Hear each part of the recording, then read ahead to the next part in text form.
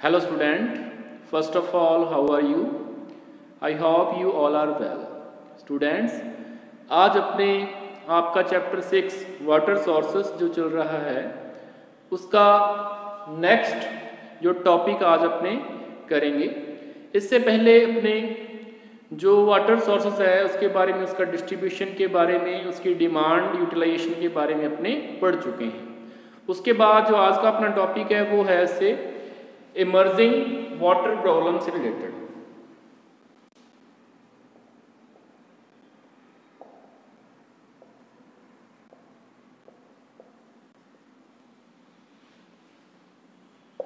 Emerging water problems अब जैसे जैसे पॉपुलेशन बढ़ रही है पॉपुलेशन वाले चैप्टर आप लोग पढ़ चुके हो population growth rate most part of the world में बहुत ज़्यादा है, बहुत ज़्यादा पॉपुलेशन बढ़ रही है पॉपुलेशन डबलिंग टाइम कम होता जा रहा है, ठीक है?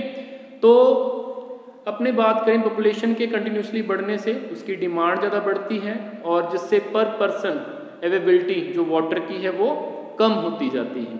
दूसरा, जो अवेबिलिटी है वाटर की, वो भी डिफरेंट टाइप के जो पोल्यूशन है एग्रीकल्चरल वेस्ट से इंडस्ट्रियल वेस्ट से केमिकल पोल्यूशन है ऑर्गेनिज्म बायो ऑर्गेनिज्म जो पोल्यूशन है या माइक्रो ऑर्गेनिज्म पोल्यूशन है उसकी वजह से वाटर पोल्यूट होता जा रहा है। तो वैसे भी जो अवेलेबल वाटर है, वो भी ह्यूमन यूज़ के लिए अपने कह सकते हैं कि अवेलेबल नहीं रहता या उसकी बेटर क्वालिटी अवेलेबल नहीं रहती।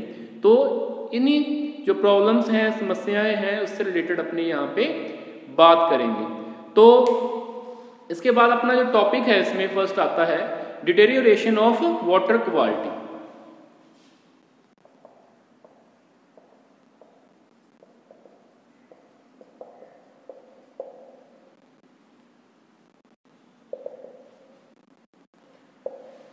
deterioration of water quality जो वाटर क्वालिटी है, उसमें कमी आना। और पहले अपने वाटर क्वालिटी की बात कर लें कि वाटर क्वालिटी क्या होती है, उसके बाद उसमें कमी कैसे आती है, उसकी बात करेंगे।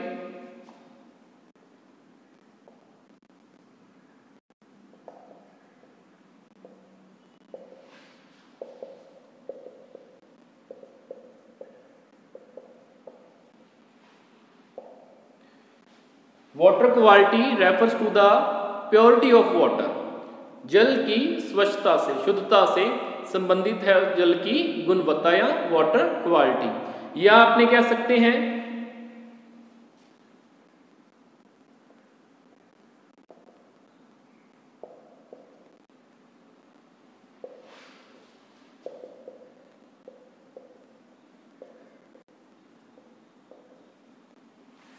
water without unwanted foreign particles quality of water को मेजर कैसे करेंगे कि उसमें कोई भी जो बाहरी फॉरेन अनवांटेड जो जल के लिए आवश्यक नहीं है, वो वाट उसमें जो एलिमेंट है या पार्टिकल है, वो उसमें मिक्स ना हो। मतलब वाटर प्योर हो, जो भी उसका केमिकल कंपोजिशन है है ना?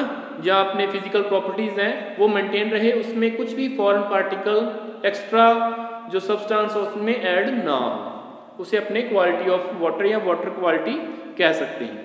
अब, होता क्या है कि डिटेरियोरेशन कैसे होता है वाटर क्वालिटी में? अब डिफरेंट टाइप्स के माइक्रो ऑर्गेनिज्म हो गए केमिकल्स हो गए इंडस्ट्रियल एफुलेंट्स या वेस्ट हो गए डोमेस्टिक वेस्ट हो गया एग्रीकल्चरल वेस्ट हो गया या उसमें जो केमिकल्स अपने यूज़ करते हैं तो उसकी वजह से जो वाटर क्वालिटी है वो डिटेरियोरेट होती है।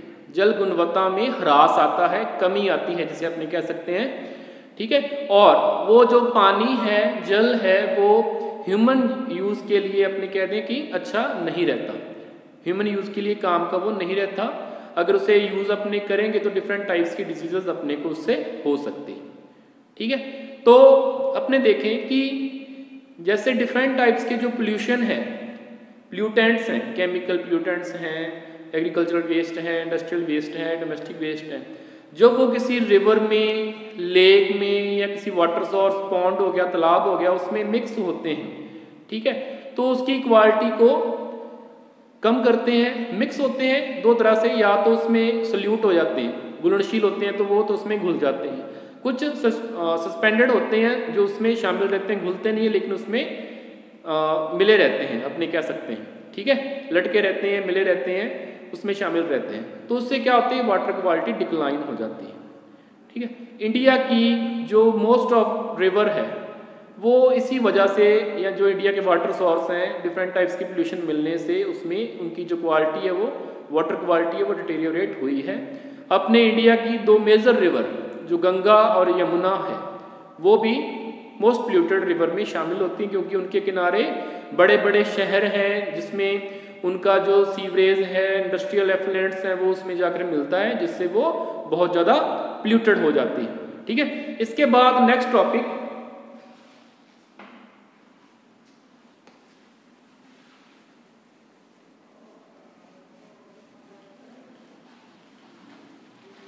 water conservation and management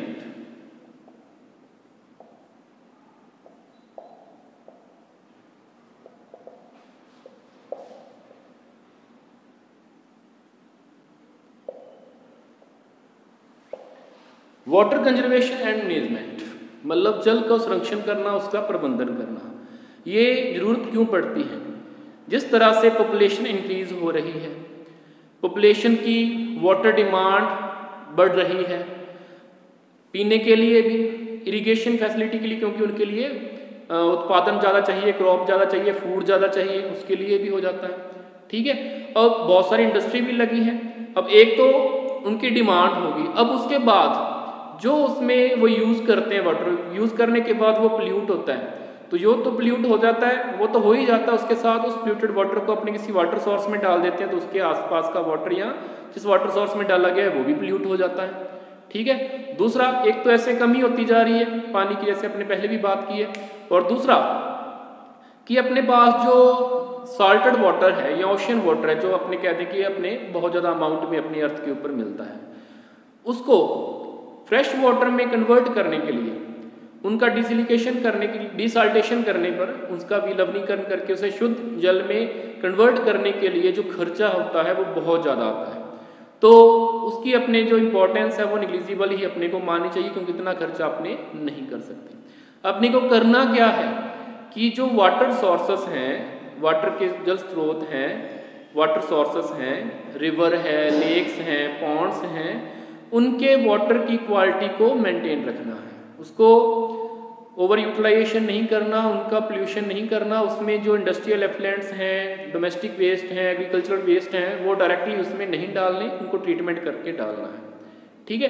तो इसके साथ साथ अपने को डिफरेंट टाइप्स के कंजर्वेशन मेथड्स भी टेक्नोलॉजिकल मेथड्स भी वाटर कंजर्वेशन के करने चाहिए। एक तो अपने उसको पोल्यूट ना करें और दूसरा, उसको वाटर को सेविंग करने की जो टेक्नोलॉजी है, जिसमें अपने इस चैप्टर में भी अपने पढ़ेंगे।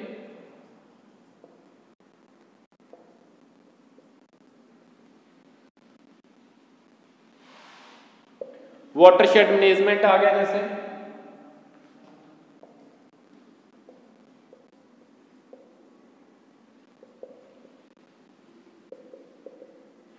रेन वाटर हार्वेस्टिंग आ गया।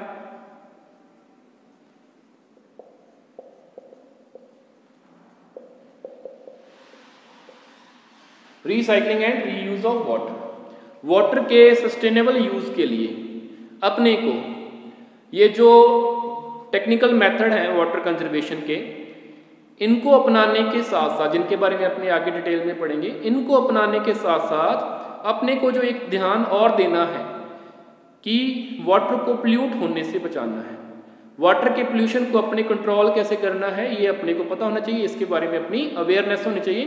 तो नेक्स्ट टॉपिक अपने वाटर पोल्यूशन को कंट्रोल से रिलेटेड ही पढ़ेंगे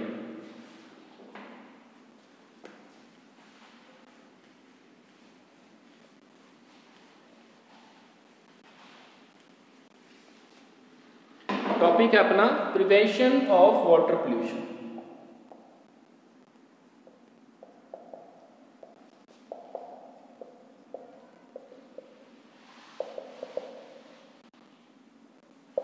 prevention of water pollution अपने जल प्रदूषण को कैसे उसकी रोकथाम कर सकते हैं, कैसे उसको कंट्रोल कर सकते हैं, उसके बारे में पढ़ना है।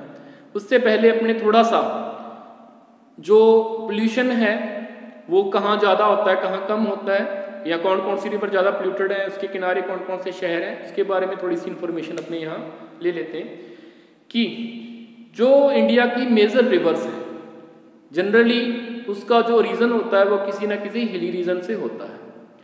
हिली रीजन की जो अपने कह दें जियोग्राफी क्या होती है कि वहाँ पे जो अपने कह दें कि लैंड फॉर्म होता है वो, अनिवन होता है उबड़ खाबड़ ज़मीन होती है। जनरली वहाँ पे पॉपुलेशन डेंसिटी है जो बहुत कम होती है। वहाँ पे road transport facility industrial facility agriculture बहुत कम होती है। तो इस वजह से वहाँ पे पॉपुलेशन डेंसिटी भी कम होती है और साथ साथ इंडस्ट्रियल डेवलपमेंट या एग्रीकल्चरल डेवलपमेंट ये सब भी वहाँ पे कम होता है।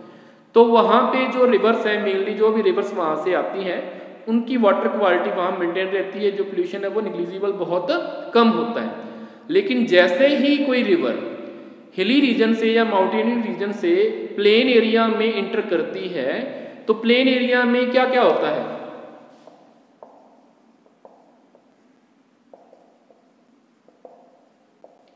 प्लेन रीजन में, मैदानी इलाकों में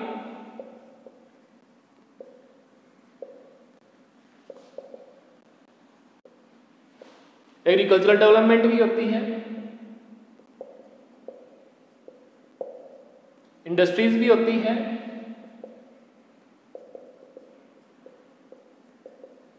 और डोमेस्टिक वेस्ट भी जनरेट होता है बहुत ज़्यादा अमाउंट में। क्यों होता है? क्योंकि प्लेन एरिया रहने के लिए सबसे सूटेबल या फेवरेबल जियोग्राफिकल कंडीशन प्रोवाइड करते हैं ह्यूमन के लिए। इस वजह से वहाँ पे पॉपुलेशन बहुत ज़्यादा डेंस होती है। डेंसली पॉपुलेटेड रीजन होते हैं। और डेंसली पॉपुलेटेड रीजन होते हैं प्लस वहाँ पे एग्रीकल्चर एक्टिविटीज़ ही हो सकती है। एग्रीकल्चर डेवलपमेंट भी बहुत ज़्यादा होता है। बहुत सारी इंडस्ट्रीज़ एस्टेब्लिश होती हैं। बहुत सारे वहाँ पे लोग रहते हैं तो इसकी वजह से वहाँ पे बहुत सारा डोमेस्टिक वेस्ट भी जनरेट होता है। अब कैसे कैसे होता है कि एग्रीकल्चर डेवलपमेंट करने से क्या होता है कि एग्रीकल्चर अपने करेंगे तो उसमें डिफरेंट टाइप्स के फर्टिलाइज़र है पेस्टिसाइड है इंसेक्टिसाइड अपने यूज़ करते हैं। जब रेनफॉल होता है तो ये जो डिफरेंट टाइप्स के केमिकल हैं हार्मफुल केमिकल हैं, वो बट पानी के साथ घुलकर या वाटर के साथ सल्यूट होकर वो डायरेक्टली वाटर सोर्स में, किसी ना किसी वाटर सोर्स में रिवर लेक्स में चले जाते हैं। उसी तरह से इंडस्ट्रीज़ होती है इंडस्ट्रीज़ एफलेंट निकलता है इंडस्ट्रियल वेस्ट निकलता है, उसे भी वाटर सोर्स में बिना ट्रीटमेंट किए ही डाल दिया जाता है। ठीक है, उसी तरह से डोमेस्टिक वेस्ट है। इसमें डिफरेंट टाइप्स का बायो जो आपका वेस्ट कह देते हैं अपने ठीक है? वो सॉलिड वेस्ट है, वो सारे का सारा भी किसी ना किसी वाटर सोर्स में जाकर मिल जाता है। सीवेज है, वो भी किसी वाटर सोर्स में जाकर मिल जाती है, जिससे जो वाटर है वो प्ल्यूट हो जाता है पोल्यूशन हो जाता है। अब उसका प्रिवेंशन करने के लिए क्या किया जाता है? जो, या उसकी मॉनिटरिंग करने के लिए central board of pollution control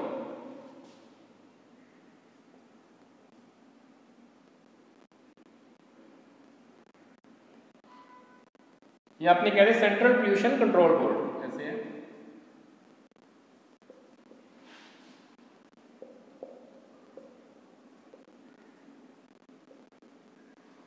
और state pollution control board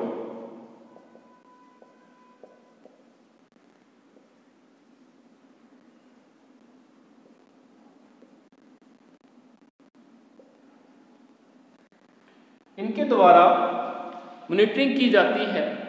different types के जो वाटर सोर्स हैं, लगभग 507 स्टेशंस हैं पूरे इंडिया में। यहाँ पे इनके द्वारा जो वहाँ के वाटर सोर्स हैं, उनकी मॉनिटरिंग की जाती है। ठीक है? कि वहाँ पे वाटर पोल्यूशन का लेवल क्या है, किस लेवल पे वहाँ पे वाटर पोल्यूशन हो रहा है। तो इससे रिलेटेड वहाँ पे जो मोनिटरिंग की गई तो मोनिटरिंग में पता चला, जाँच पड़ताल में पता चला कि जो सबसे ज़्यादा इंडिया में पोल्यूशन का सोर्स है, ठीक है? वो माइक्रो ऑर्गेनिज्म या organic organic and micro organism contamination सबसे ज़्यादा होता है।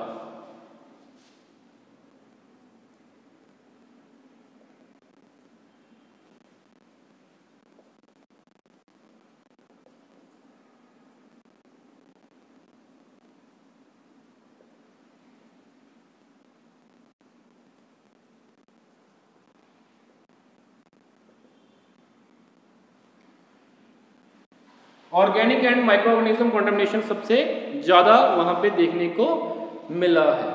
तो इसके साथ साथ और भी डिफरेंट टाइप्स के, जैसे अपने कहते हैं कि जो आपका केमिकल्स हैं केमिकल फर्टिलाइज़र हैं, दूसरे भी जो एग्रीकल्चरल वेस्ट है इंडस्ट्रियल वेस्ट है, उससे भी पोल्यूशन बहुत ज़्यादा होता है। तो इसी बेस पे अगर अपने बात करें तो इंडिया की जो सबसे ज़्यादा पोल्यूटेड रिवर है, वो है Yamuna.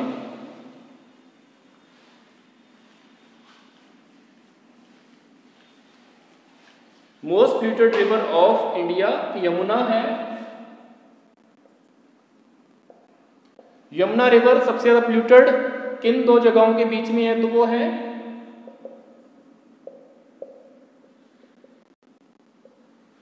दिल्ली और इटावा। इसके अलावा जो और प्लूटेड रिवर हैं, वो हैं जिसमें गंगा अपनी बात कर लें।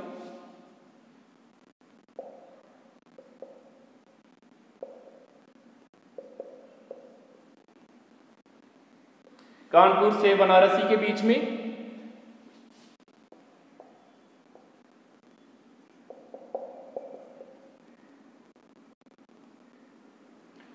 साबरमती, अहमदाबाद।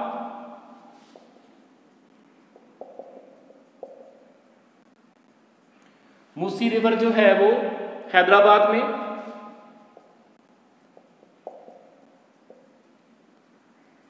गोमती रिवर है वो लखनऊ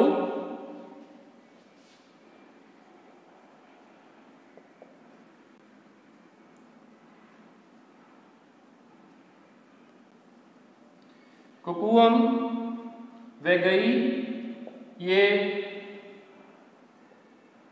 मदुरई में। तो ये कुछ रिवर्स हैं जो पर्टिकुलर सिटी के पास हैं और वहाँ पे वो पोल्यूट हो गई। अब ये पोल्यूशन की बात अपने हो गई। अब इसको कंट्रोल करने के लिए, ये तो उसकी मॉनिटरिंग की बात है कि उन्होंने मॉनिटर किया कि सेंट्रल पोल्यूशन कंट्रोल बोर्ड ने स्टेट पोल्यूशन कंट्रोल बोर्ड ने 507 स्टेशन की मॉनिटरिंग की तो अपने को ये पता चला कि कौन सा पोल्यूशन सबसे ज़्यादा होता है और कौन कौन सी रिवर ज़्यादा पोल्यूट है और कहाँ कहाँ पे। अब इसको कंट्रोल करने के लिए पोल्यूशन कंट्रोल करने के लिए इंडिया में कुछ एक्ट बने हैं। तो उन एक्ट की अपने बात कर लें।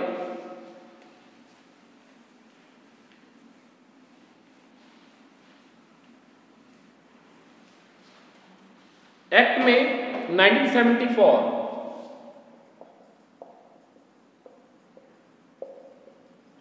वाटर एक्ट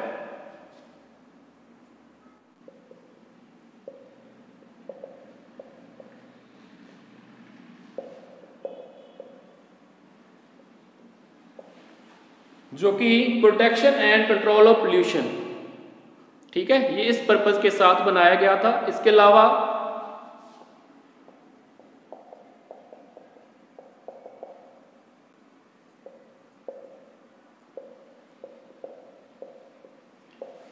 1996 में इन्वायरमेंटल प्रोटेक्शन एक्ट लेकिन ये एक्ट तो बनाए गए। लेकिन इनका इम्प्लीमेंटेशन ठीक ढंग से नहीं हो सका। इसी वजह से 1977 में दो 200 से ज़्यादा इंडस्ट्रीज़, किसी न किसी वाटर सोर्स जिसमें रिवर्स हैं लेक्स हैं, उसके किनारे स्टैब्लिश्ड की गई और उससे पोल्यूशन और बढ़ता गया। इसी को रोकने के लिए 1977 में वाटर सेस एक्ट लाया गया।